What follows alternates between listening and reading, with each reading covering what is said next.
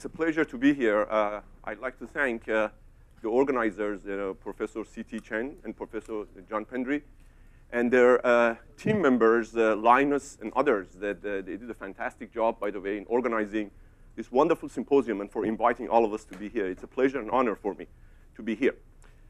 As you see, by the way, in the title of my tutorial, I use the two words, simplicity and complexity. And during my talk, you're going to see how these two actually are balanced together. It's important to actually look at this concept of balance between simplicity and complexity because metamaterial, by the way, has been a very active field, of course, and there have been a lot of interesting applications, some of which we have heard from wonderful talks in the past several days. Uh, but the natural question to ask is that, what's the next step? And what do we have, you know, in, in the future? And uh, so I'd like to share with you some perspectives, some ideas I have as a possible potential paths for the next generations of metamaterial applications. And in order to do that, by the way, I find it useful personally to look into the history of, uh, history of science and engineering and look at some of the examples. And I'm going to share with you five examples that have nothing to do with metamaterials. But those examples, by the way, tell us that what happens when the field gets to certain level of development and what type of, you know, quantum leap, I mean, they had in order to make those fields so successful. And uh, you're going to see, by the way, in these five examples that you're all very familiar with that, there are certain commonalities among them. And these commonalities, by the way, all you can actually categorize them in the balance between complexity and simplicity. And you notice, by the way, that they involve, you know, several interesting, you know, specifics. For example, uh, you're going to see that they involve modularization. I'm going to mention what I mean by this modularization. It's going to involve uh. They actually have conceptualization. You're going to see that these uh, concepts really help us in those fields to develop them. And of course, we have analogy and cross-breeding among different fields. And that, of course, you've already seen in the field of uh, metamaterial. So let me share those five examples. Three of them are very trivial. We're all very familiar with that. And the other two also are very well known, but maybe less obvious. One interesting area that uh, I find it very fascinating is the balance between analog and digital concept. Of course, we know that the digital electronics have been fascinating. But in fact, if you take a look at it and look at the George Boole Boolean algebra that he introduced, you notice that you know you actually balance between the complexity of an analog signal with the simplicity of the digital signal. So you actually let go some of the information in analog signal at the uh, benefit of having simplicity in the digital signal. Of course, the question I'm going to pose later on in the middle of my talk is, can we do that for metamaterials? And uh, so in a sense, can we have a Boolean metamaterials? I call it digital metamaterials. Another very obvious examples that have been close to my heart is the field of electronics. And electronics, by the way, has seen you know, amazing development, by the way, and of course, it's part of our life. We can't live without electronics in the 20th century and continues to have amazing development in the 21st century. And there are many reasons. Uh, one of them, of course, because of physics of electrons and charge carriers, that you can control the motion of charge carriers. They are fermions. They have charges, so you can control them by the fields. But there's another reason, in my opinion, that the electronic has seen you know, amazing development, and that is the fact that in electronics you can modularize the system. And these are, you know, things that we teach our undergraduates, you know, resistor, capacitor, inductor, and I know there was a good discussion between Eli and Roberto two days ago. And, uh, and this actually has helped the modularization concept. So you notice, you know, what I mentioned about the complexity and simplicity, and modularization, conceptualization, and so on. You're going to see the footprint of that in these examples that I mentioned. We'll come back to this later on in the middle of my talk, that to how metamaterial has helped us in order to bring modularization in the field of nanophotonics. The third example I'd like to share with you is uh, the field of computer architectures. Now, yesterday was the one-year anniversary of death of uh, Stephen Jobs. And uh, he passed away last year on October 5th. And uh, his vision was to make things simple. And in fact, we all have, you know, almost all of us have smartphones, some of them different phones than iPhones and so on. And the amazing thing, by the way, is that there is actually modularization here as well. Because if you want to see the temperature of Hong Kong, you just touch one icon. Of course, there's a lot of computer programming behind that. Somebody has done that for us. Somebody has conceptualized that. Somebody has modularized that and give us one building block. And you press that and do that.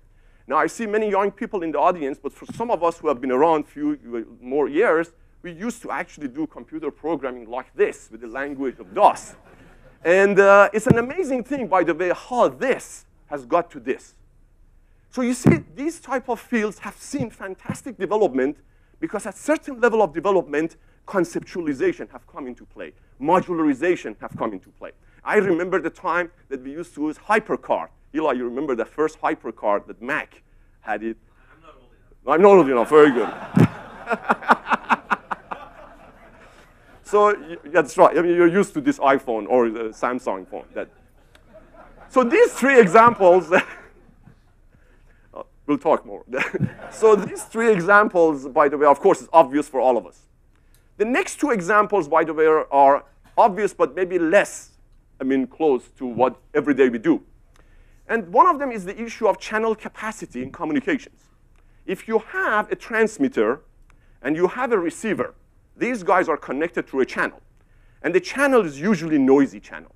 And this was actually a very important bottleneck, important issue several decades ago how to actually quantify the noise in the channel and the, uh, the quality of the communication between receiver and transmitter.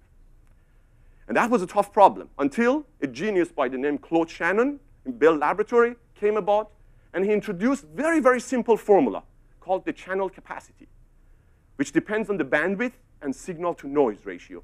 And this simple formulation, which I like to call it example of conceptualization, completely revolutionized the field of communication theory and introduced a new theory named its information theory. And uh, so this is amazing that how a, a, simple parametrization helps a great deal. And finally, the fifth example. Uh, I don't think so. I mean, he graduated from I mean, he did most of his work in, in, uh, in Bell Lab, as far as I know. But correct me if I'm wrong, I may be wrong. But, but I know that he did. And he actually, his master thesis at MIT, actually was the one that did the issue of digital, I mean, signal there. Yeah, please do. Yeah, that's right. and uh, why this doesn't work? I think out of battery. But uh, let me use the other one.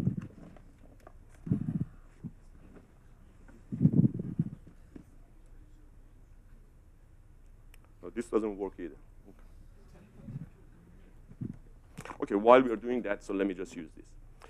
And the uh, fifth example is the example that's uh, closer to my heart, antennas. Now, antennas has a long history, by the way, and it really goes back to the 19th century. Heinrich Hertz uh, did it. Oliver Lodge, you know, several giants, you know, work on the field of antennas. And the antennas were actually tough uh, physical problems because you have to solve boundary value problems. You have to solve Maxwell's equations, you know, all of those things there. But what did it take for the field of antennas to get into this? And in fact, a successful company that Eli had, as uh, we were talking about it. So this interesting development is amazing things too, by the way. But what caused this simplicity? What caused, thank you, uh, what caused this uh, jump and this quantum jump between something that was, I mean, clearly a wonderful physics problem into something that you know everyday life. We use that. And that's actually due to several, I mean, fantastic giants in the 20th century. Let me mention name a few of them. Uh, Professor Ronald W.P. King from Harvard, Sergei Schelkunoff from Bell Laboratory, Hallén Pocklington, and those guys. These guys, what they did, they actually put the foundation of antenna theory. And particularly, one thing that I find it quite interesting is that they introduced a simple number they introduced the simple concept for input impedance of an antenna. So if you look at the complexity of this antenna that you see over here, rather than every time this was connected to a circuit, somebody has to solve the entire boundary value problem, they don't have to do that because you need to know, at least as one of the important characteristics, what is the input impedance at the terminal of this antenna, which is a complex number. And if you know that, then you can connect it to the circuit. So circuit designers did not need to know the radiation pattern. And the radiation pattern calculation did not know to know the circuits. But in order to bring these two together, you needed to know that uh, concept, that certain simple concept of input impedance of the antenna. So again, this interesting concept of, you know, modularization, if you will, that's another example of that, help a great deal for bringing this field from this one to what that we do every day. By the way, as a personal note, uh, I was very fortunate to know Professor King personally uh, because he was the professor of my professor. And, uh, and uh, he has an amazing, by the way, guy. In fact, he lived until the age 100. He wrote seven books, amazing books, by the way. And those are the days that, you know, they didn't have computer graphics and so on. So he had to actually plot those curves, you know, really by hand. And it's amazing list of equations, analytic formulas, all of them there, you know, really, you know, antenna, you know, to the depth. And he wrote his last paper at the age 97. Single author paper, and what was it about? Dipole antennas. So he was an amazing guy and participating in conferences to, to, the, to the last days and wonderful. So it was really great to know him. Uh, now, with these examples in mind, is to, we see whether we can do some form of similar modularization and, uh, and the balance between complexity and simplicity for the field of metamaterial. The field of metamaterial has come to a very interesting point. A lot of development has happened. But we are looking for the next stage. We are looking for the next quantum leaps. We are looking to see what would be the next thing we can do over here. So let's try to see what we can do with the field of metamaterial if we can actually put this hat in our head that to see whether we can simplify things. We can conceptualize things, and particularly the balance between complexity and simplicity. But why? Can we have a metamaterial gadgets? Can we have a metamaterial devices? Well, electronics already have shown that to us. In fact, you just already know. We started with this alphabet in the 20th century. We got to this. Let's use that. What did it take to get this one to this one? And whatever it took can be used, can we get inspiration from that and do that for metamaterial. So can we do something like that in metamaterial? So this would be the building blocks of metamaterial that we have all loved in the past several years. But if we do combine them, what do we be? What should we uh, that metamaterial gadget be? Well, well, that's something that we need to do in the coming years. But I'm going to share with you some of the perspectives and, uh, and ideas that I have. So I'd like to call that a metamaterial machine, or meta machine, or metamaterial devices. And what that device, what should that device do for us, by the way? So basically, I mean, the limit is the limit of your imagination. For example, can that metamaterial machine do signal processing for us? The same way those electronics machine is doing signal processing for us, your cell phone, I mean your iPad. Can this metamaterial machine do mathematical operation for us? Well, computer does mathematical operation for us, but that's electronics. Can we do something like that with metamaterial? Can it do solving equations for us? Could we have a metamaterial that would solve equation for us? Hopefully by the end of my talk, you will be more optimistic that yes, it may be possible to do that. How about pattern recognitions? You know, electronics did a lot of things for us, pattern recognitions. But can we do that with metamaterial?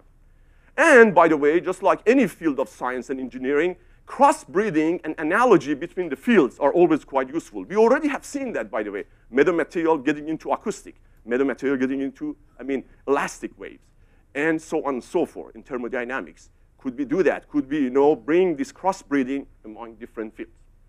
So let's start going through cases. For the rest of my talk, I'm going to talk about these several cases that uh, we have studied. The issue of meta systems.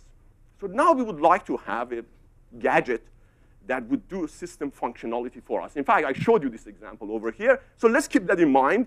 Let's see what we can do with that. And by the way, one of the th interesting things about this gadget that you all use is signal processing. In other words, electronics can do signal processing for us.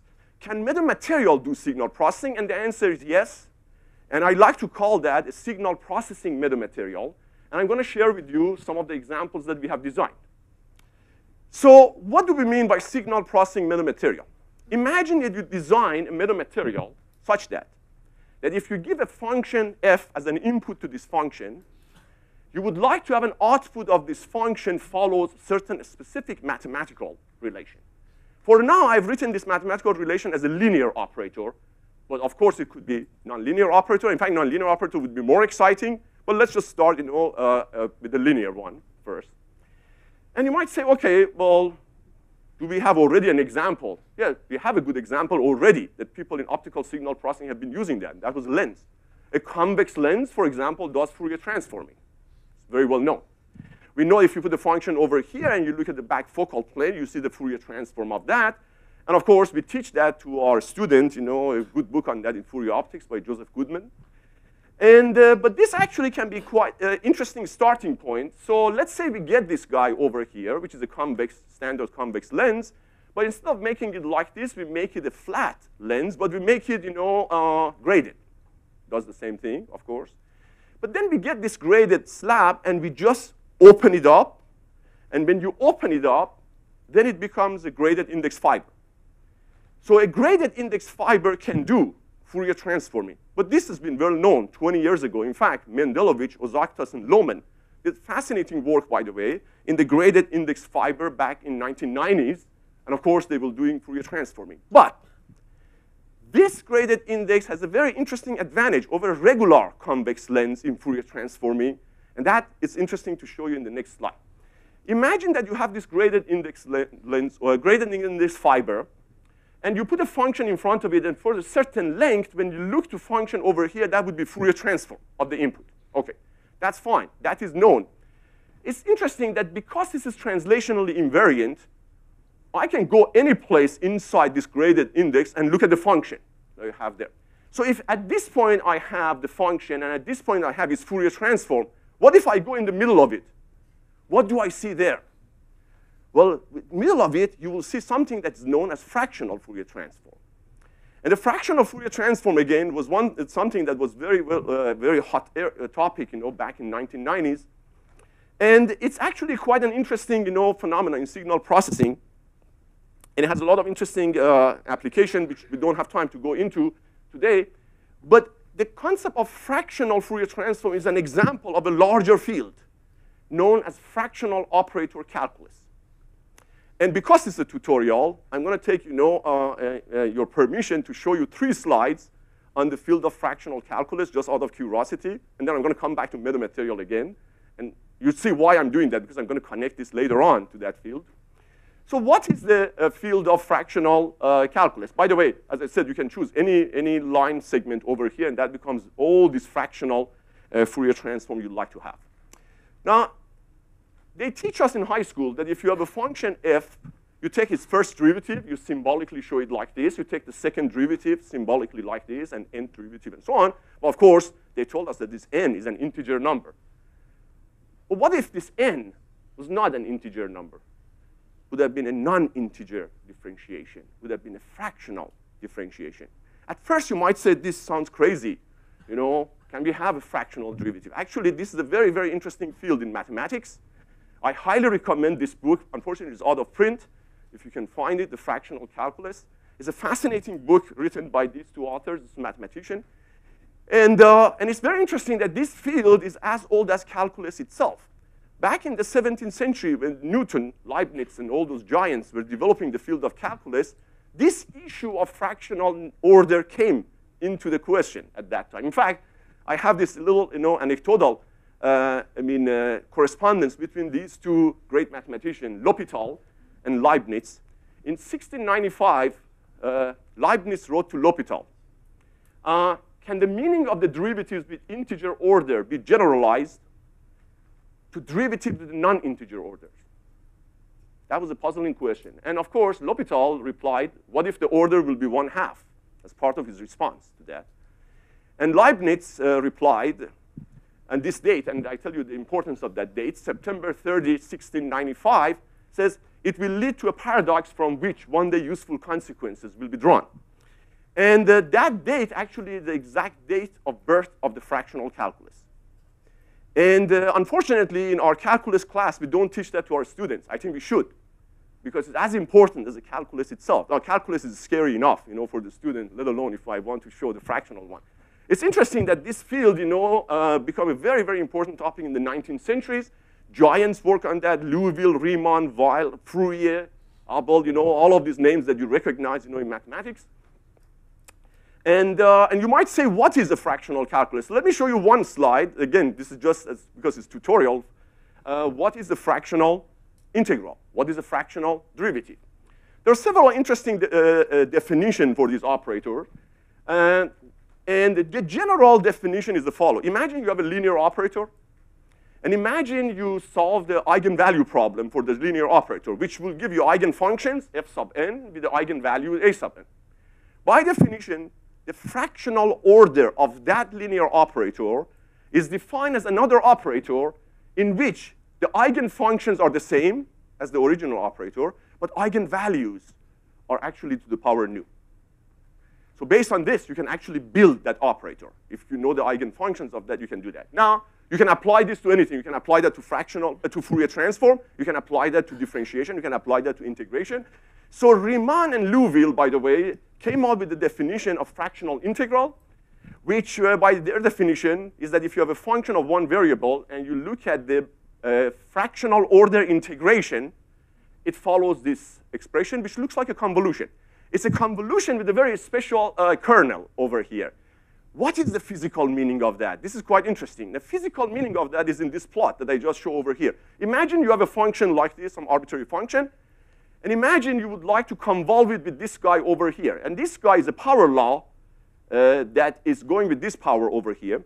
So basically what you're doing is that you're getting information of the function and it's passed with the weight towards the point of interest more than in the past. So it's a very interesting way that you can actually have a memory of the function with more emphasis to the immediate past and less emphasis to the farther past over here. And that emphasis can be controlled by this alpha. If this alpha happen to be 1, that becomes a regular integration, and that just becomes a step function. You convolve it, and you get a regular integral of the function. And by the way, if you want to do the differentiation, you can do this extra step over here. Mu, nu is positive, and then you can define this one, and you can have that. And there's a lot of other interesting definition you can have. Now, this can have a very interesting signal processing properties that hopefully one of my goals is to see whether metamaterial can resolve that, and I'm going to show you later on. So let's go back, by the way, this was a detour. Let's go back to our subject of signal processing metamaterial.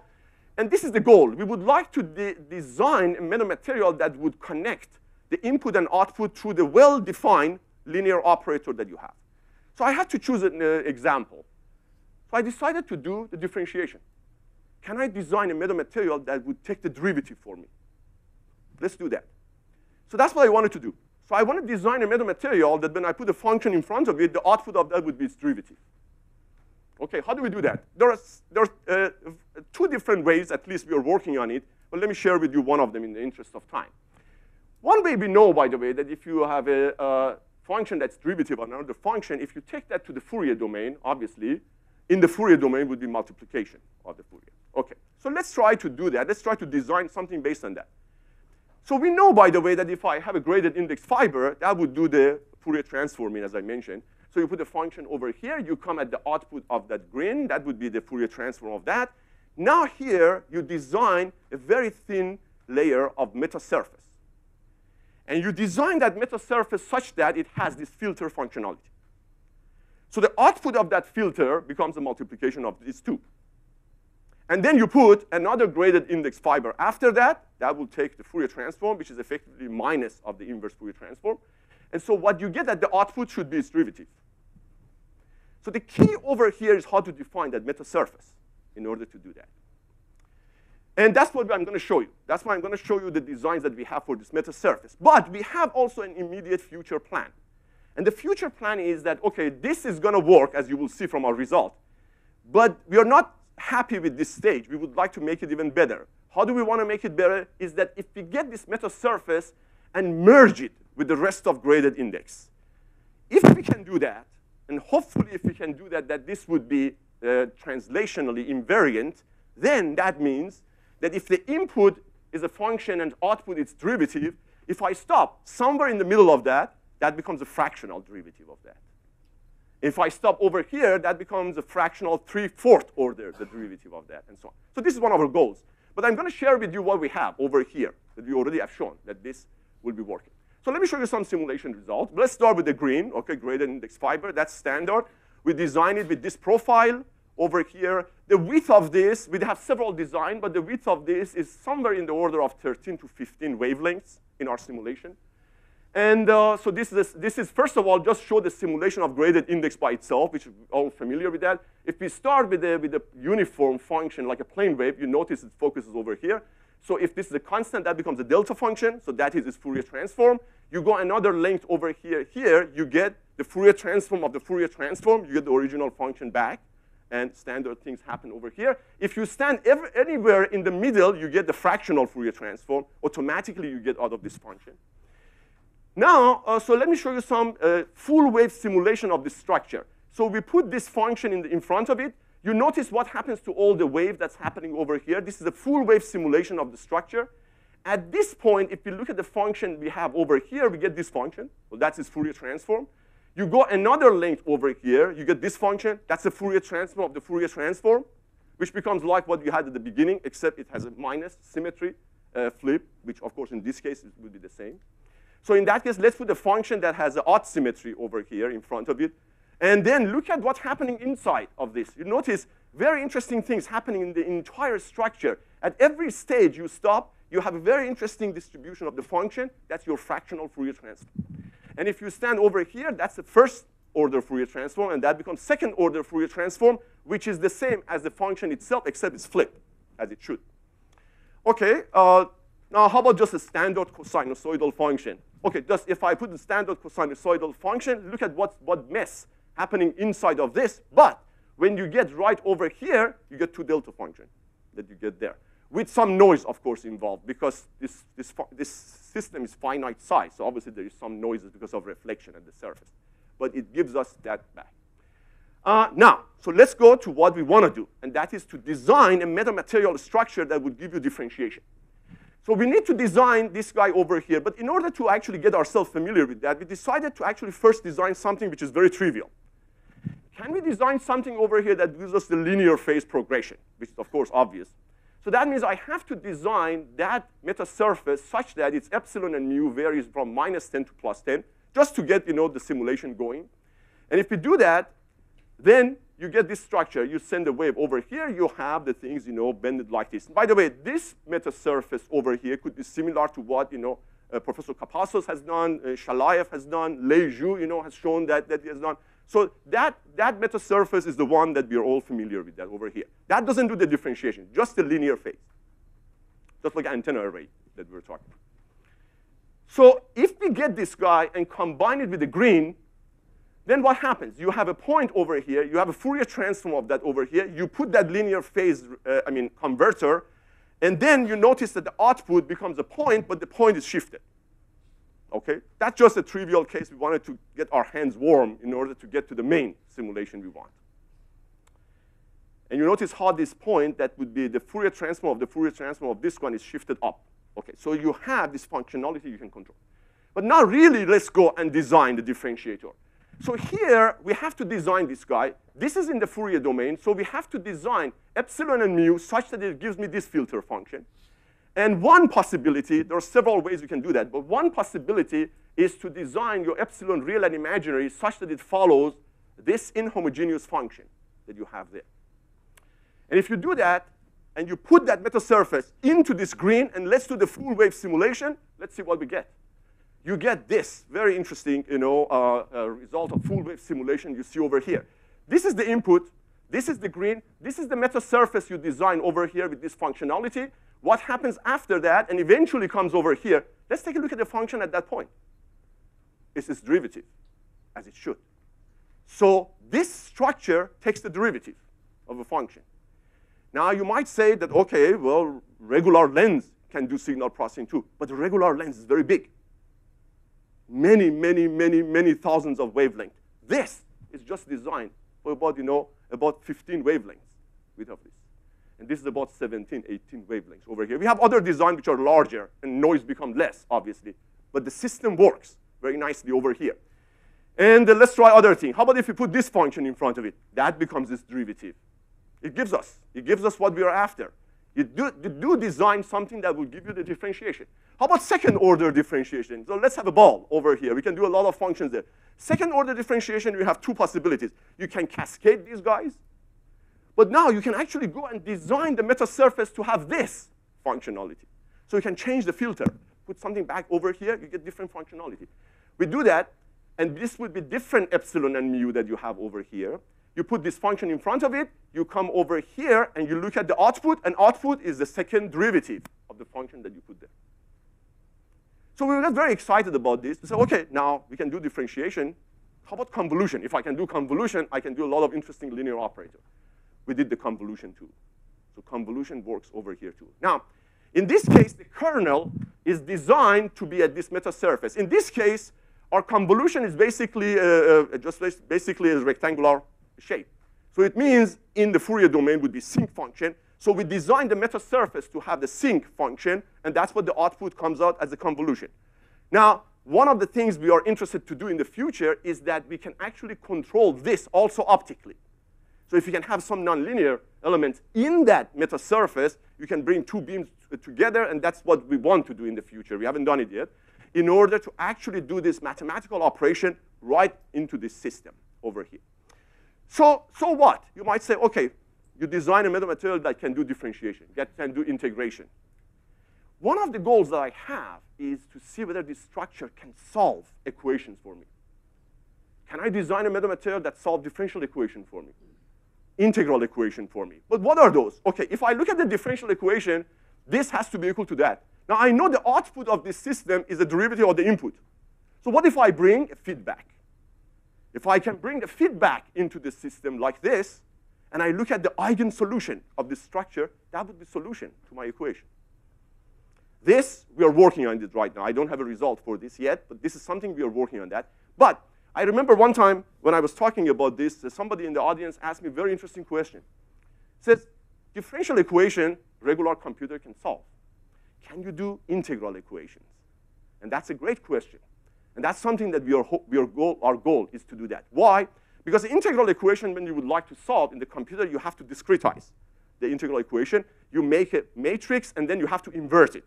And whether, depending on how efficient you invert it, you have either worst case n cube operation, or you can have n log n operation and all of those things there.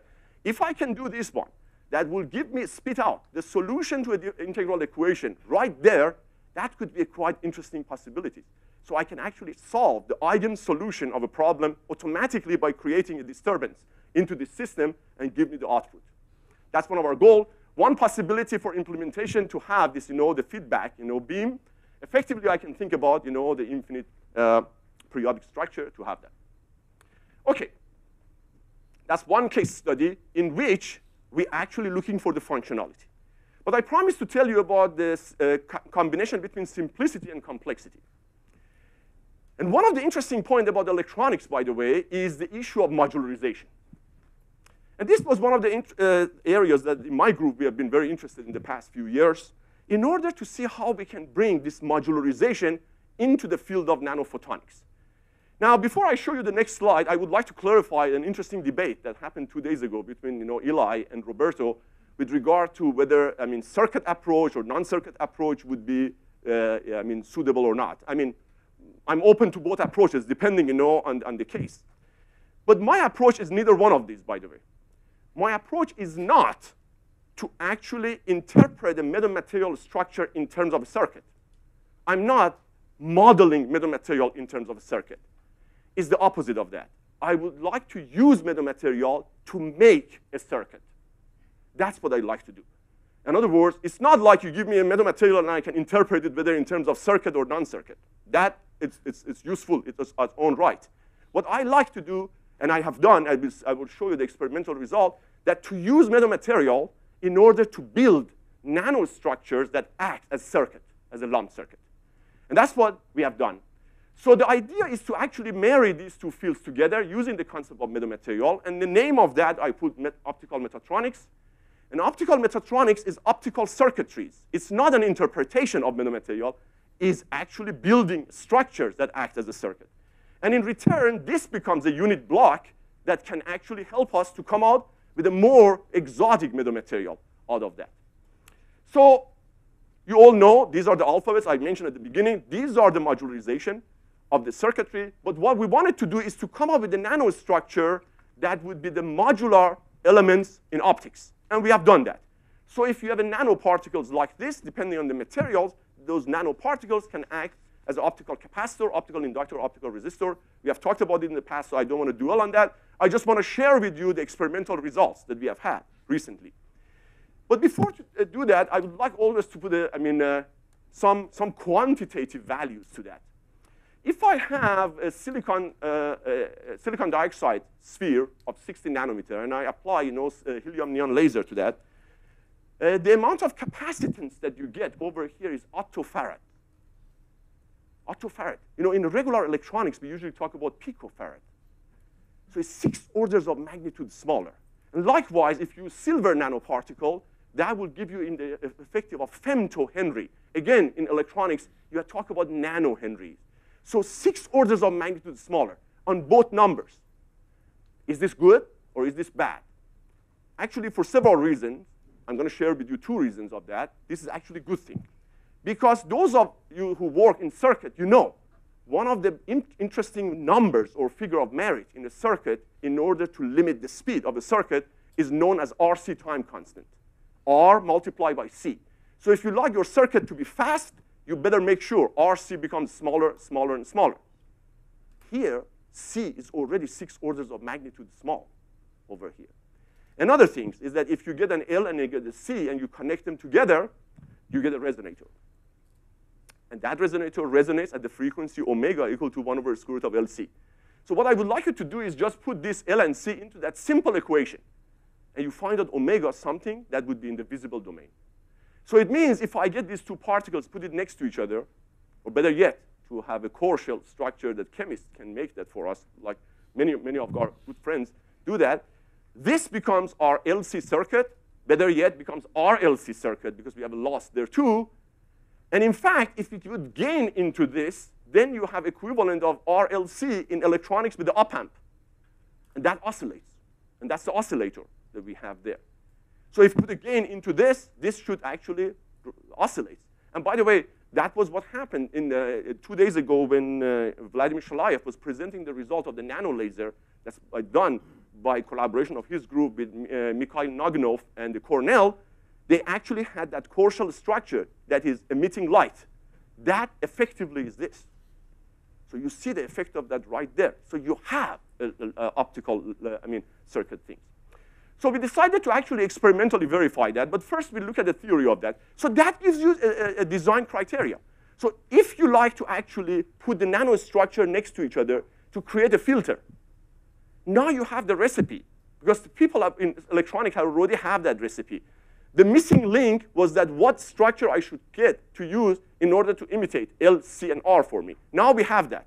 So if I want to have RLC like that, for C, I have to find a material that has epsilon positive, okay, silicon nitride. For L, I have to find a material for which epsilon is negative, okay, that would be silver. And of course, loss is part of the silver. And first, we look at the theory of this, and we look at the magnitude and phase of the transmission of this filter. And I show you two results over here, both of them theoretical. One is this black curve that you see over here. That's a full wave wave solution to the problem. And the other one is a red one, which is just using simple circuit formula. And you see agreement in the magnitude and phase. is amazing to that. This encouraged us to actually design an experiment for this. And for experiment, what we designed, we used silicon nitride, nanowires, and we built several samples with this dimension. This is cross-sectional dimensions that we have over here. You notice that we, in this experiment, we wanted to actually prove this concept from 8 to 14 micron. So it's the mid-IR. So this dimensional cross-section is significantly lower than wavelength, and that's the way it should be, because we would like to have lumped element. And, and depending on the value of epsilon of this, this acts as an inductor, this space acts as a capacitor. So remember, I'm not interpreting this structure as a circuit, I'm building it as a circuit. So this is a very different concept that I would like to emphasize. So then I promised that you look at very simple formula that circuit taught us, but the value that we put over here is with the wavelength at, at mid-IR. And then based on this simple formula, you can find the transmission of that. So this was a theory based on circuit. And then we build it using the combination of optical lithography and uh, e-beam lithography. And uh, it was interesting challenge, by the way, to build this because we wanted this to be completely suspended system. So we had to etch it from below, etch it from above, you know, all of those things there. And then we put it into FTIR and we tested. And when we tested, we wanted to test this issue that the same circuit will act differently if you have different polarization. And indeed it did. So for this, it acts as a parallel circuit. For this, acts as a series circuit. And these are the result comparison between the experiment and the theory. Now, there are 54 curves that you see over here, uh, three different thickness and three different periodicity. We had nine samples each one of them is tested with a different polarization, so 18 different you know, measurement. And 18 different measurement, you see every color that you see over here has three curves over here. And these three curves, one of them is experimental result, the other one is a full wave simulation result, and the third one is a circuit theory result. And you see all of them agree quite well. So indeed, this structure acts as lump circuit element. So we have it. So you can actually build nanostructure that would be your circuit at the mid-infrared. Now, we have actually also shown that in the near IR over here. So this one, we are using a transparent conducting oxide, uh, ITO. And in fact, we show that it's tunable. So you can actually tune you know, this circuitry by actually changing the material in the capacitor. And the agreement with the, with the theory is uh, quite interesting and uh, nice over here. And uh, one of the things we are working on that right now is a very interesting mechanism that this circuit has, that the regular electronic circuit does not have. In the regular electronic circuit, if you connect L and C together, you can either connect it in parallel or you can connect it in series. There's no third way. Here, you can put this nanostructure next to each other, and depending on what angle you're looking at, the circuit has a different functionality.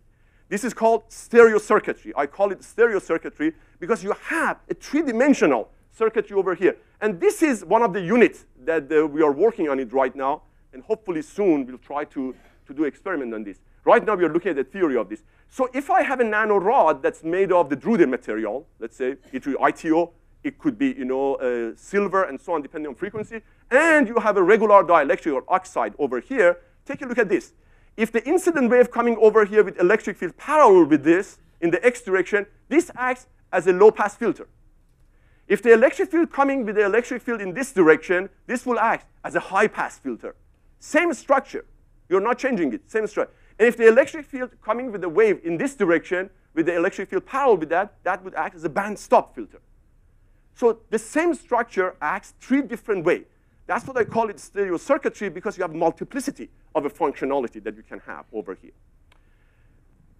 Now, at ongoing work we are doing is to introduce nonlinearity into this system.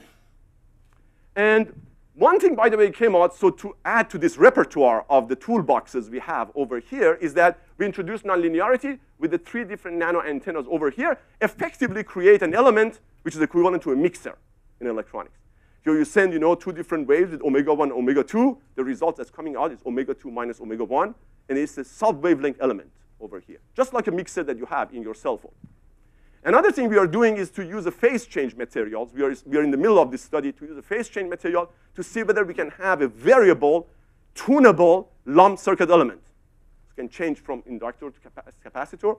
Another thing we have done is to look at the nonlinearity in the form of you know, non-Foster or negative index converter. Uh, I don't have time to go through the detail of that. That by itself is a very interesting topic of the non-Foster circuitry uh, that the people in electronic use. Now we have a model over here to do it at the you know, nanoscale. Now, oh, I'm sorry, this one. Oh, another thing I forgot to mention. We are also bringing uh, uh, non-reciprocity into the system. So to have a circuit element that would be non-reciprocal, has different impedance in this direction than the other direction. That can open up a lot of interesting possibilities by bringing magneto-optic material in the nanostructure near these particles that you have there.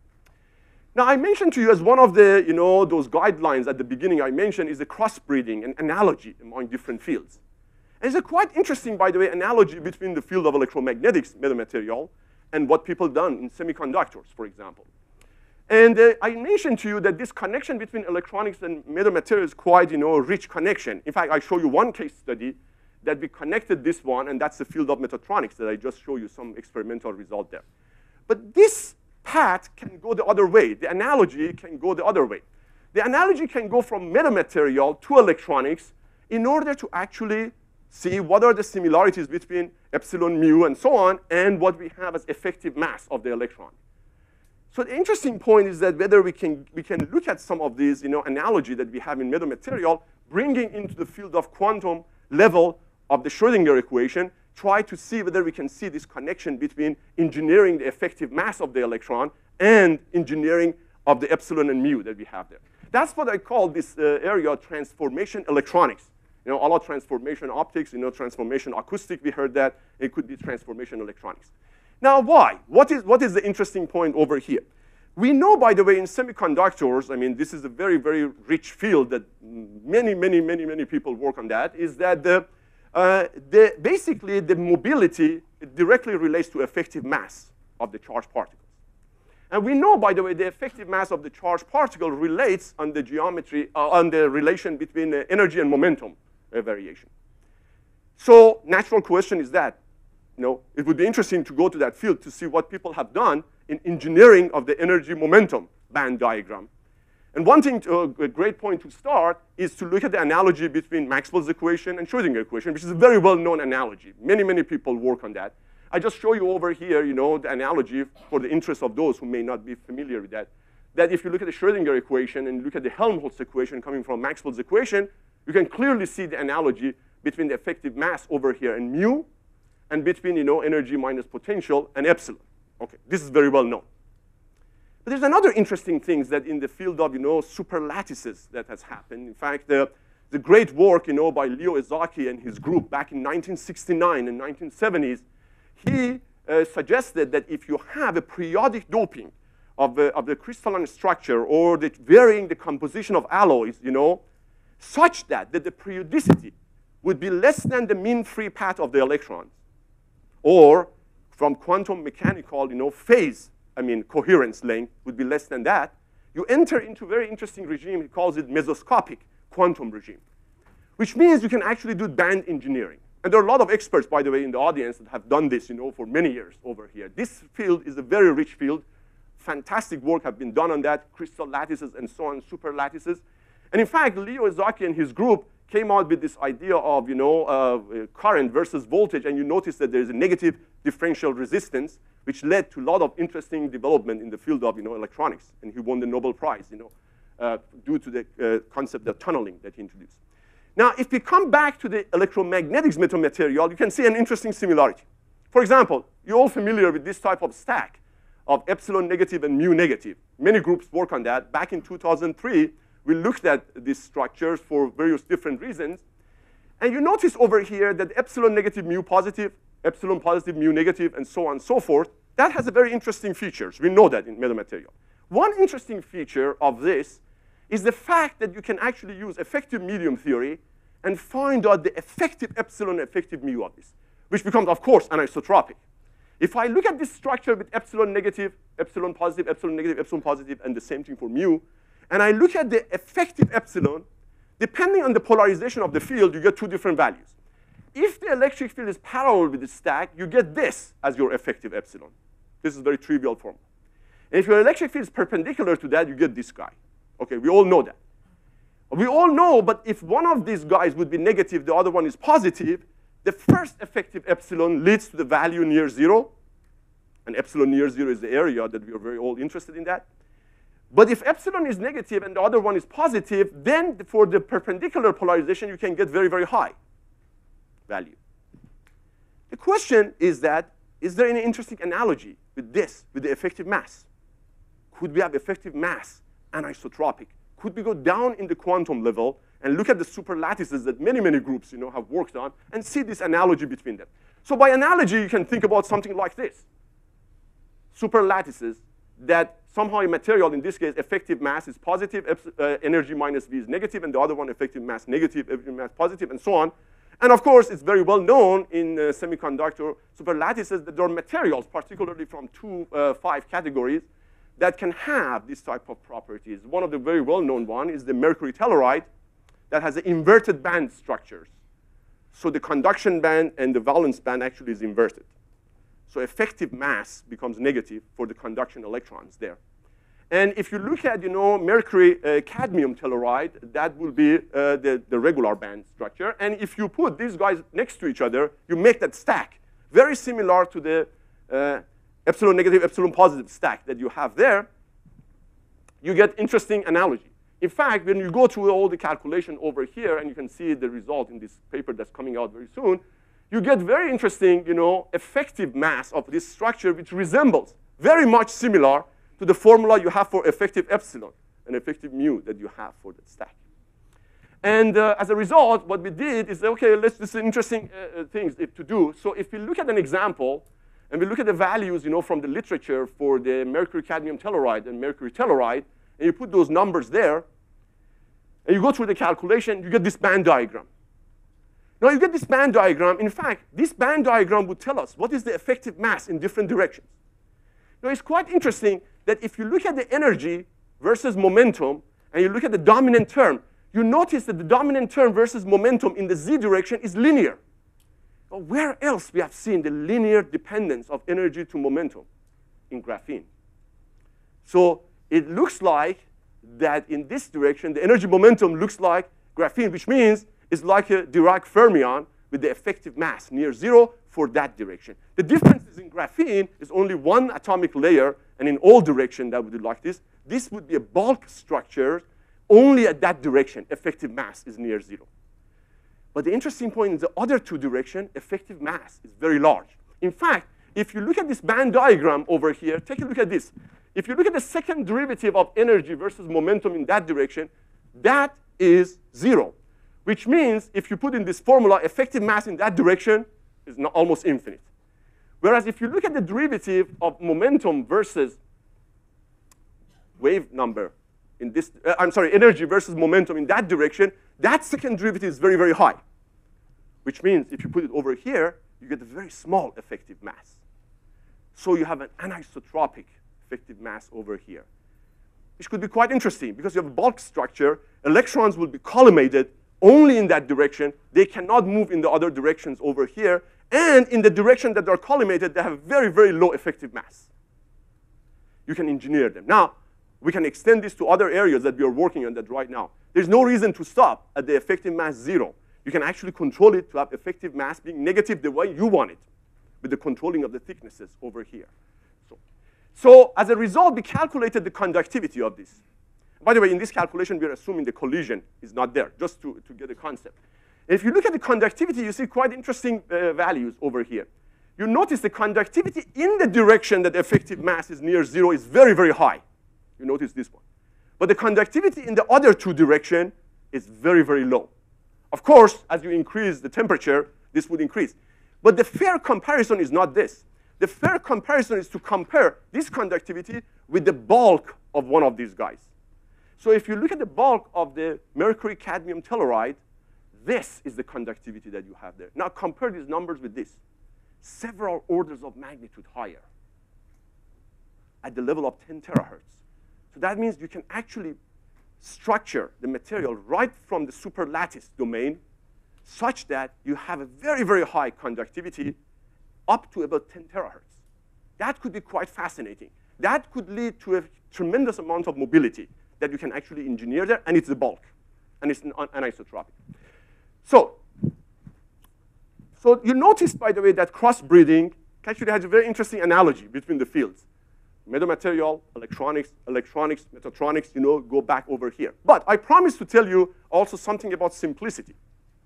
And a good example of simplicity is the concept of digital circuit, digital electronics.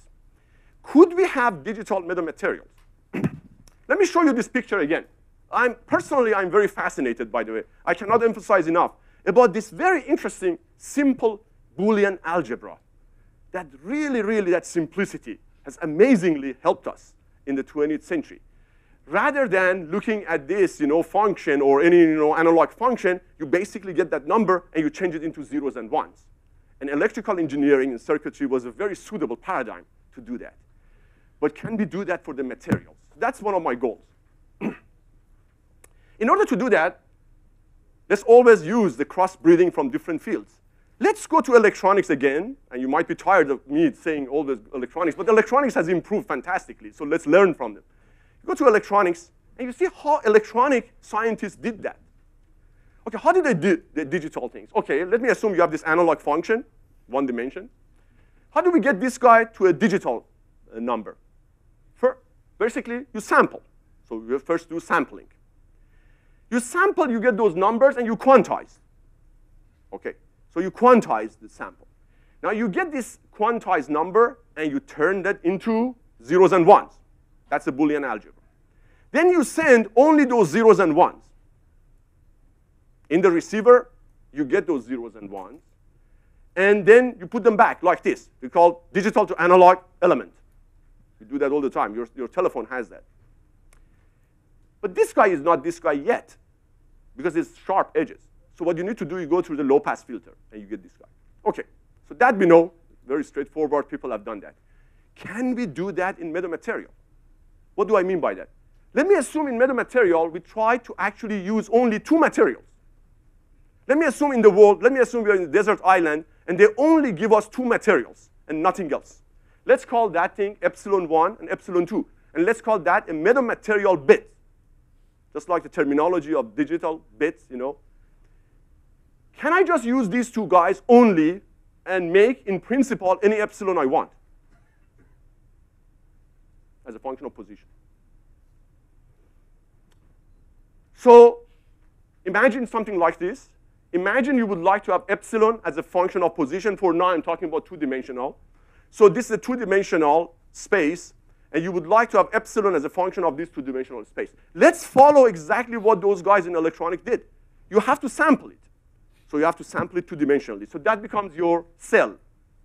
You go in that cell, you come up, you find out what epsilon you need to have in that cell. Of course, you have to quantize that. Can it, is it possible that for that cell, we make these bits this way such that this together will give us that effective epsilon that we are looking at. So in that cell, I have a lot of several bits. And those bits consist of only two numbers, nothing else. And those two numbers, can it give us you know, any epsilon I want to have in principle? The answer is yes. In principle, we can do that. In fact, there are different ways of analyzing this. So imagine this is your cell, 3 by 3 bits, and you only allow to put epsilon 1 and epsilon 2 over here, nothing else. So how do we go about calculating effective epsilon in this direction, effective epsilon in that direction? One way of doing that is use you know, circuit model. But don't, we're not stick to the circuit model. In fact, right now we are doing other techniques too. We are doing it with the core shell structure. We are doing other things. It's interesting, by the way, that there's a lot of interesting rich mathematics behind this concept. In fact, my good friend Graham Milton has done a fascinating classic work, you know, back in 1981, 31 years ago. He has looked at the very interesting bound for two-term composite structure. What would be the range of epsilon that you can have? I, I, assume, by the way, he was an undergraduate in your group at that time, yes? I mean, because you're so young. I don't know, 31 years ago, you wrote this paper, which, by the way, uh, got you the, the very good uh, prize recently. That's right, congratulations. It's a fascinating paper, by the way. It's amazing. And uh, so it's a very mathematical. You were young. Too. and uh, so, so there's a lot of interesting mathematics there already that can help us, I mean, to build this area. Uh, either we can go through this, very, by the way, I mean, Graham Milton's paper tells very interesting bounds. A very interesting bounds about if you have, you know, two material, what would be the effective epsilon you can get out of this? And it's quite promising, by the way. From my point of view, when I was starting this area of digital metamaterial and searching the literature I came across, you know, your paper, I was so happy that, you know, you have looked at this mathematics of this already, which is quite encouraging because it tells us, you know, what are the values of epsilons we can get. Uh, so let's, let's look at the very, very simple cases just to get the intuition. So imagine I have a two by two cell consists of epsilon 1 and epsilon 2. And for now, I'm just putting it like this. So imagine like this, 0011, like my digital byte. What is the effective epsilon in the direction of x? Well, this would be a very simple formula like this. How about for effective epsilon in this direction? Well, this would be the formula like this. OK, now, but here's an interesting problem. If epsilon 1 and epsilon 2 both are positive, you find out that this effective epsilon in the y, y, and x, x is bound bounded between epsilon 1 and epsilon 2. That's not a good news because it's bound between that. Well, I want to have epsilon, any epsilon I want in principle, but if I just between these two, I have a problem. However, here it comes to, to, to save us. If, however, and that's an interesting thing coming from effective medium theory, if, however, one of those epsilon is negative, then you have a completely different domain. If one of those epsilon is negative, for epsilon, uh, for electric field parallel in this direction, this is the effective epsilon you have, which is bound between these two. But for electric field in this direction, this is the effective epsilon you have that is outside that bound. That's the good news. That means you can actually build the effective epsilon you want out of these two numbers. So take a look at this. Imagine I have a 9 pixel by 9 pixel system over here. And imagine one row of it is minus 3. The other one is just 2. Only two materials. And it, these are the different you know, zeros and ones that you put over here. If you look at the effective epsilon in the x direction, this is the value that you can have between minus 3 and 2. But if you get the effective epsilon for the electric field in this direction, you see what happens. You can get a value of epsilon which is 25 outside minus 3 and 2. And that's consistent with your theory, uh, Graham, by the way. So uh, you can actually increase the number of pixels. By the way, that's true that in the regular electronics, you increase the number of pixels, you get a much more you know, fidelity to the original function. The same thing happens over here. Look at that. You can actually recover you know, the epsilon you want. So we decided to look at two cases. One, the case of scattering. Very simple. Imagine I have a column, two-dimensional column and I'm going to send a wave to this, and I look at the scattered field. Now, if instead of this column being 4.28 epsilon, instead of that, I'm stuck in an island that I only have two materials, neither one of them is 4.28, can I make an effect of 4.28? It becomes like this. That becomes your digital metamaterial, like this that consists of epsilon 3 and epsilon minus 6. By the way, this actually is the number that coming from silver, so we actually introduced the loss there too, just to make it as close to reality as possible. And then what I'm going to show you over here is walking over this. So the, the, the, our sample is in the middle of this circle, two-dimensional. One is this, the other one is this. And I illuminate it, and then I walk in this circle, and I measure the real and imaginary part of the field, the scattered field and then compare the two. So this is the real, and this is the imaginary part. Actually, the, the scattering from these two are so close to each other that you don't even see the difference. Actually, there are two curves over here. You don't even see that. So from, from that distance, these two guys are identical. Good news. How about if we come closer? We come closer, two lambda close to that. Again, you can't see the difference. Closer, you can't see the difference. Even 0.4 lambda, you can't see the difference. So what happens is that from outside world, these two systems are identical. When you get inside that, they're different, obviously, but not outside. But that's what we want. Because if I want to have as an inclusion for metamaterial, whether I have 4.82 or whether I have these two guys, they act the same way. So that means that these two digital systems would work. And by the way, another reason that I came out you know, uh, with this uh, idea of making this concept digital is because most of the experimental work that you see from our colleagues, they do have only two materials, usually. Usually is silver gold on top of another dielectric. So why not we actually formalize that in order to have you know, very interesting mechanism to actually do that. Another thing we wanted to show that that it works is just to design a device. So in this case, we want to design a lens just simple lens. This is not a super lens. This is just a regular lens, such that when I put the source over here, I get the focal point, you know, that one there. That means this is the distance. This is the lens I want to make.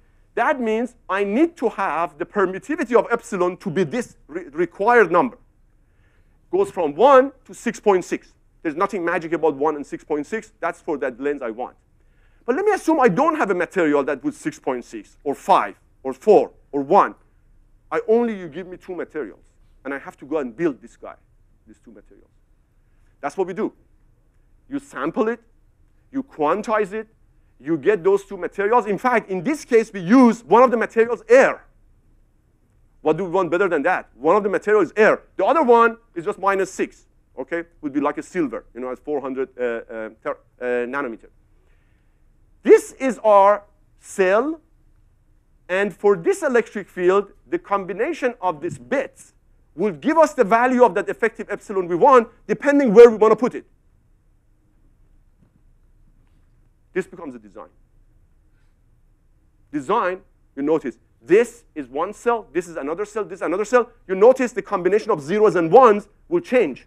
So to give you the number you want. And uh, let's test it. And it works. So you can have digital metamaterial. That can, uh, uh, in my opinion, help tremendously because it can simplify the concept rather than, now, by the way, one thing we haven't talked about over here is the dispersion of this. This is only at one frequency. At that frequency, my one and minus six. As I change the frequency, these two will change. But that's okay. But that's the dispersion we have. There's no problem there.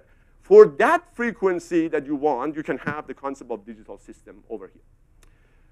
Jörg, how much time do I have? Okay, good, thank you. The last item I want to talk about, and I put it as optional in case if I don't have time I can stop here, is uh, the concept that we call it uh, taming the displacement current. Again, this is something that you crossbreed, you know, the fields. And after all, metamaterial is a concept that can help us to do things that ordinarily nature doesn't do. And one of the interesting points that always, uh, I mean, was puzzling to me is uh, the simple wire. The simple wire. If you look at around, you know, you have these interesting wires that we have there. A simple wire does magic, by the way. We usually don't think about it. But a simple wire is a very nice conduit for the conduction current. Think about it, you know, just simple wire, you bend it, the current doesn't come out. Why not? Why does the charged particles would not come out of the metal? Okay, now we're going to see why, of course. But before we do that, let's look at Maxwell's equation. Now, it's interesting that at the end of my talk, I talk about Maxwell's equation. So we've been using this all the time. But now I bring Maxwell's equation again. But the fascinating thing about this equation is the terms on the right-hand side over here, which consists of conduction current, consists of displacement current that Maxwell introduced in the 19th century, consists of Faraday term, which is effectively a magnetic displacement current, if you will, over here. But it's interesting that each of these terms relates to certain technology, if you will. Alpha relates to the electronics, that's conductivity. Epsilon relates to photonics, index of refraction, and so on. And mu relates to gyrotropy, and so on. But the interesting point is take a look at these currents. I'm not going to talk that much about this. I don't have time. But let's take a look at these two currents over here. These two currents, by the way, are both on the right-hand side of Maxwell's equation. But nat naturally, they're different, and they have very interesting difference. And one interesting difference is the following, that the conduction current can be actually confined. You can confine the conduction current in a metal. And when you bend it, the thing doesn't pop up. Of course, you can go into quantum mechanical description because of the work function and all of those. But phenomenologically, you can describe the reason that the current doesn't come out because of the huge contrast between the conductivity. You have a conductivity very high in the wire and conductivity almost zero outside. Which means if you multiply E by sigma, outside you have no J. Okay, That's why when we bend this thing, no J is coming out. But how about the displacement current? Unfortunately, displacement current doesn't, it's not like that. Maxwell introduced displacement current in the, in the 19th century. The way we can have a visual understanding of displacement current is that to look at a capacitor and look at the field between them and you get that electric field multiplied by epsilon, you take its time derivative, that's your displacement current. Is the displacement current confined? You might say, well, maybe it is, because it's between the parallel plate capacitor. But actually it's not, because if I break that capacitor, electric field is everywhere. Particularly if I go to the optical domain and you have nanoparticles, you illuminate that, electric scattered, everywhere that you have electric field, you multiply the electric field by local epsilon, you get D, you take the time derivative of that, you have displacement current. So you have displacement current everywhere. But the conduction current we could confine with the metal. Nature has given us metal. But nature hasn't given us something that we could confine the displacement current. But can metamaterial help us to confine the displacement current? And the answer is yes, you can do that. And in order to do that, let's look at the interesting analogy between these two. If I have a metal, I have to have a huge contrast on sigma in order to confine J. By analogy, if I want to confine vector displacement current, I have to have a material over here that has a very high epsilon compared to very low epsilon outside. Which means if I look at the displacement current minus I omega epsilon out E, if I have very low epsilon outside and high epsilon in, in this structure, then I can confine vector D. Very interesting analogy with this guy. Very interesting. Of course, the only difference also is that this is a frequency omega. That could be even in DC. The problem is, do we have a material in optics that has a very high epsilon? No, we discussed that. In fact, uh, Kostas had a very interesting discussion that you know it's very hard to find epsilon very high at optical frequency. But here's an interesting observation. I don't really need high epsilon over here. What I need is a huge contrast between epsilon of the wire and epsilon outside. If I cannot have very high epsilon for the wire, can I have very low epsilon for the background? Can I have epsilon near zero? If I can make the background epsilon near zero, I get the contrast I'm looking for. But can I have epsilon near zero background? Indeed, we started this topic back in 2006 as we were studying, looking at the tunneling through the waveguide, and we said, what if epsilon of a material becomes zero? And we showed at that time, and you can see the detail in that paper in 2006, that you have a very interesting tunneling property for this epsilon near zero material. Now, there are natural material with epsilon near zero, like silicon carbide at 10.3 micron. Real part of epsilon crosses zero, and the imaginary part is very small, and so on. So what if I do this? What if I get a block of epsilon near zero material, and I cut a groove through this, air groove. And what if I put a source over here, and this source, you know, gives us a field distribution, and if that field distribution has a longitudinal component of vector d, what happens to that vector d? Outside, d has to be zero, because epsilon is zero. An electric field is not infinite. So epsilon has to be zero. The only place that d is non-zero is this air groove. And because the divergence d is equal to zero, I don't have a net free charge over here, that means if you come over here and look at the flux of vector d over here, that flux has to stay the same everywhere. So vector d gets confined. This is your d dot wire that you want. This is equivalent to in electronics, we have a regular wire. So metamaterial with the epsilon near zero can provide us a very interesting platform of confining the vector d that Maxwell introduced in 19th century. Now with the metamaterial, we can confine it just like a metal can confine the conduction current. So one of the things we did first is look at the simulation of this stack.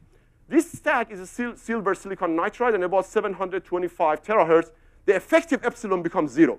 So we cut this groove in our simulation. This is a 2D simulation. We put a source over here. We solve Maxwell's equation over here. And what the vector you see is the electric field.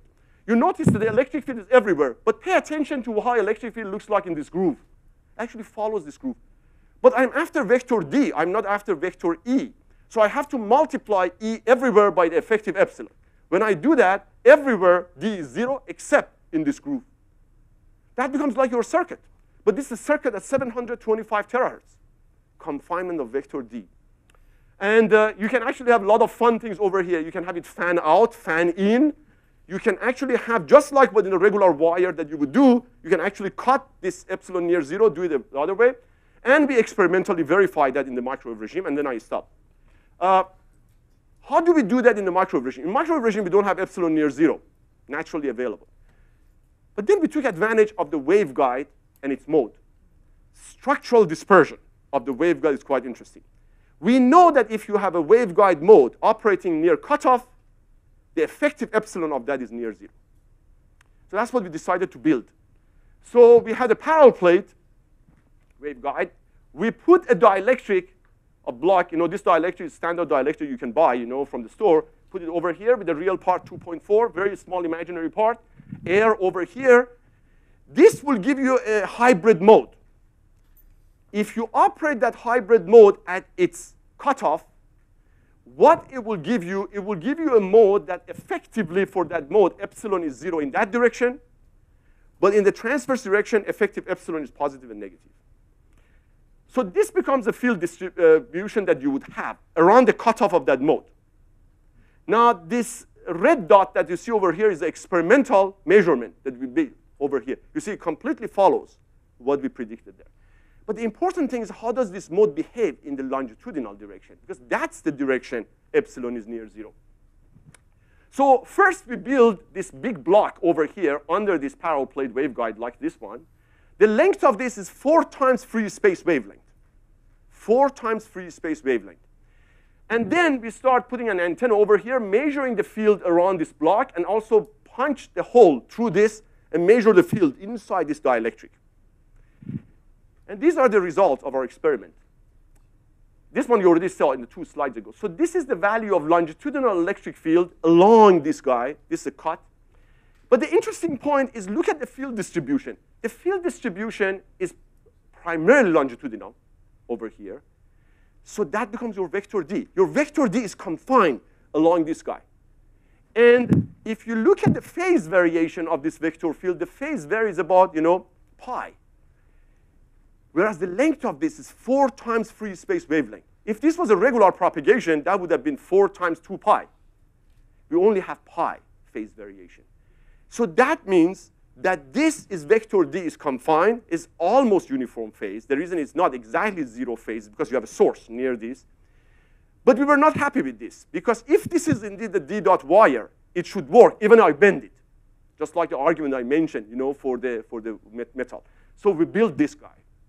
We built this guy with a, just like a logo. We put these guys, you know, connected through this with the same dielectric. We put this guy on top of it after you see this image. We put this one back. This will give you a mode that operates as its cutoff. When it operates as its cutoff, the phase variation is zero through this. And then we did the measurement. And this is the result of simulation. And right along this path, we walk around and measure the field. And that's what you see on the phase. You look at the phase varies only pi over 2. And the length of this structure is 8 times free space wavelength. So it's actually like this. It's actually like a capacitor that you open this capacitor with the 8 times free space wavelength, and vector D is still confined. That becomes your D dot wire that you have over here. And because of that, you can have another mode of communication, if you will. Because the same way that you know regular current go through this one, now you have another way that you can actually have displacement current. So let me stop over here. And uh, so I hope I've been able to convince you, you know, the metamaterial is a, is a very fascinating, you know, area that has a lot of interesting things going on for it. So we have a great, you know, I'm very excited about the future of this field. But bear in mind that in the future, we have to actually be aware of this balance between simplicity and complexity. Modularization, parametrization that I mentioned about the examples from other fields. And one of the interesting points that I think, you know, uh, will give us hopefully a quantum jump in the field of metamaterial if we think about metamaterial as a system, as a system that would do functionality for us. And as an example, we have shown you how we would design a system that will give you differentiation, convolution. Hopefully, soon we're going to see whether it solves you know, integral equation for us and so on.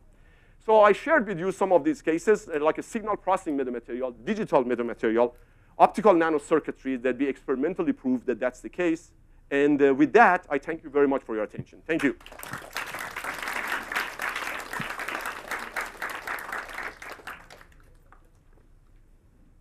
Thank you very much. Um, yeah, Roberta. So we we are used to to think about the electric field being in the wires, regardless of all this, and uh, we associate this with having a, a, a a certain conductivity, which turns into having a very large imaginary part of the permittivity. That's right. But that's not a necessary condition. No. You can have a negative epsilon that is 5,000, and you're going to have the same effect. Absolutely right. You're having a refractive index that is 20, mm. and you're going to have the same effect. So the, is it a way to describe what you did by simply saying that if you have epsilon 0, the relative is just infinity and therefore is confined? Okay, uh, uh, several good points you have in your question. First of all, I agree with you that it doesn't have to be sigma. If epsilon is minus 100, would do the same thing. That's very true. Bear in mind that there is a difference between what I mentioned and that case. If you have epsilon minus 100, yes, you can confine that. But the phase between this point and that point may not be the same. You have a guided wave. Optical fiber does the same. From here to here, you have a vector d longitudinal. But that vector D has a phase variation that goes from here to here. I don't want to have phase variation. That's why I introduce epsilon zero in the background. If you do epsilon zero in the background, the wave number k becomes zero. So not only is confined, but also its phase is uniform. And that's why when you bend it, nothing that much happens. If you have a phase variation and you bend it, you're going to have radiation. Okay, thanks. I, I, think that makes it clear the difference. But, but to be sure, the, it's not a waveguide, right? I mean, It's not a I wave- I can have a situation, but what I said, is you don't need a waveguide No. either, right? No, I mean, absolutely. you can have a very thin uh, uh, wire, if you wish, of a material with n equal uh, 30, and you're going to see the same effect. No. Because if you have a if you have a wire with n equal to 30 and outside medium is 1, you have a guided mode in that structure, and that guided mode has a wave number beta which is non-zero. So you have a phase variation. That's the key. I mean, I, I don't want to have phase variation. Uh, any, any optical waveguide would do the same, but this is not a waveguide. I mean, we use waveguide to show the proof of a concept, but if you have epsilon zero, let's say, for example, you get a silicon carbide and you create a tube, air tube inside of it, that becomes, you know, this D dot wire. Uh, Nader, um, very, very interesting um, uh, exploitation of fractional calculus in, in optics. Thank you. Um, turn it around though, because uh, having done that in optics, um, it's well known that you can either use an RC circuit as a differentiator or an integrator, uh, but can you do fractional calculus uh, in some adaptation of- an RC circuit? Excellent question. In fact, that's you, you got exactly what I had in mind in the future because I showed you the optical metatronics and I showed you the distribution um, of metamaterial that would do ideally fractional Fourier transform and later on fractional.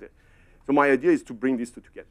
So could I have nanoparticles that I put this nanoparticle next to each other, effectively acts as a lump circuit element, whether in optics, IR, whatever, that would do that functionality in the lump circuit. And uh, my gut feeling tells me, yes, that will be possible. We haven't done it, but that might be something possible to do, yes. And people, by the way, have shown in, uh, in uh, area of rheology, in the area of mechanics, uh, the, the fractional calculus has been used extensively in other fields. It's not just uh, electromagnetics. I myself worked on fractional calculus when I was a young assistant professor. I started my career. One of the areas of my research was fractional calculus, and I brought it into field of electromagnetics to show that some of the image methods, for example, can be actually generalized by using fractional calculus. I'd be happy to send you the papers. Uh, there, in the field of uh, mechanics, for example, people have looked at the mechanical model that would effectively give you fractional uh, calculus. That would be another interesting, you know, intuition and inspiration we can get to bring that. Okay. Yes. Yes, thank you, Nader. The, the, indeed, I, I can see that you are really hopping between the analog and digital worlds because I, right. I guess we are used to the fact that the old analog things were wonderful, but then the power of computers was, was, was so great that, that we can now, as you said, solve integral equations by uh, Inverting disc- discretizing the matrix. That's so right. we think that the power of digital is much more. But now I see that you uh, like uh, uh, have the idea of solving integral equations through the GRIN, for example, which is again through analog thing.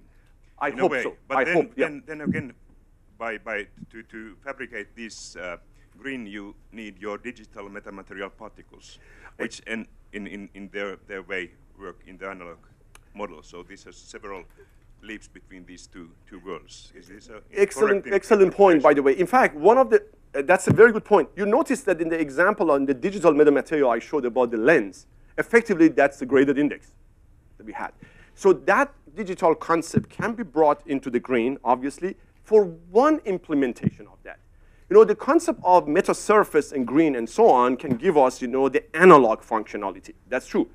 But to implement that specific epsilon we need, let's say for the metasurface or for the GRIN, one way of doing that, it could be digital metamaterial. So remember, digital comes over here from the structural point, not from the signal point of view. Signal is still analog. So, uh, but if you're thinking that at some point we may be able to actually digitize the optical signal, that certainly could be an interesting possibility. But that we haven't done. I mean, this, this is the digitization. We haven't done it for the, just the material in order to still gives us the analog function. Yeah. Thank you. Um, there, there's one area in physics where uh, analog computing has experienced a, a, a renaissance, Absolutely. and which is not exactly analog computing; it's quantum computing. That's right. So, have you thought about applications of this, of, of your ideas for quantum communication? And I mean, I solving these tasks like performing a Fourier transform or fractional Fourier transforms are building blocks of, of quantum computational devices. I have thought about it. I haven't done anything on that. I have thought about it. I mean, that's an interesting, you know, possible connection to that, but still needs to be. I mean, I don't know. I don't know Okay. how far that can go.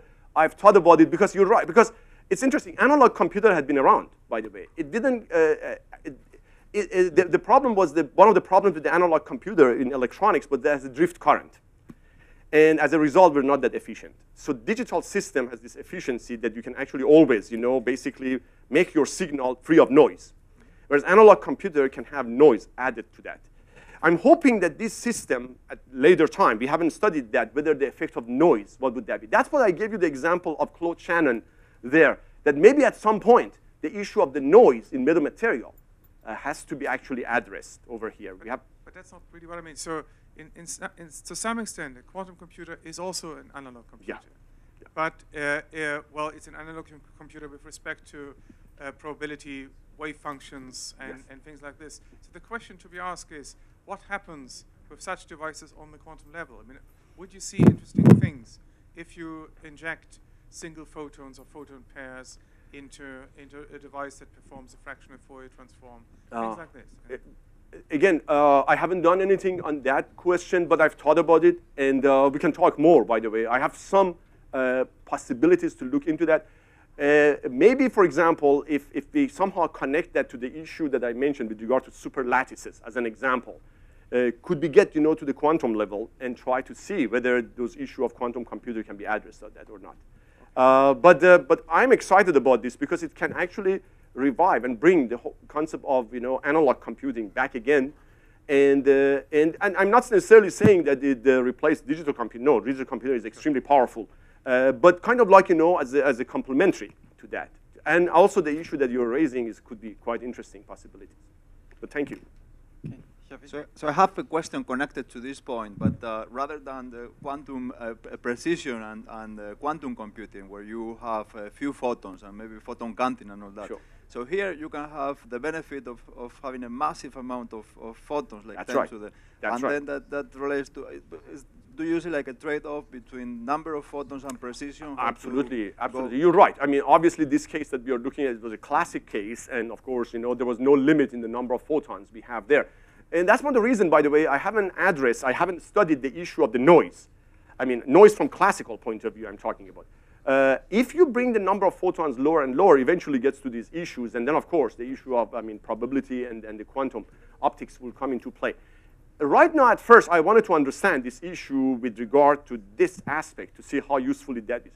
By the way, that brings me to another point. You know, because at least so far, the system I'm studying is a linear system, you can imagine that this could have a combination of the solution all at the same time. Uh, you and I had interesting discussion, you know, the other time that if we have, you know, nonlinearity into this, that can open up quite interesting possibilities because then it would add up to, you know, the possibility of, you know, nonlinear integral equations, you know, all of those things can be done. But we can talk more. Thank you. Okay. So, yeah. Yes, please. Uh, when you want to build uh, something with some dielectric constant, which is uh, built of uh, two basic, epsilon Okay. in, a, in some some case or whatever, do you have any restriction between your wavelengths and the size of the, the basic? Excellent point. Yes, yes. By the way, I'm assuming that this, uh, this bits, this digit or metamaterial bits, I call it, very small compared to the wavelength. Yes. And by the way, that's, that's a natural assumption we always make. Uh, in, in fact, that's exactly the assumption also people in electronic make. Because when you do the sampling, you do the sampling, you know, very, very small delta t compared to the period of the signal you have there in order to recover, you know, those guys there. Same thing over here. In this case, you have a wavelength, and then you sample it with very, very small cells, and then you have a digital bit into that. Yeah. Okay, thank you. That closes the session. Uh, Thank you very have much. lunch. Thank you.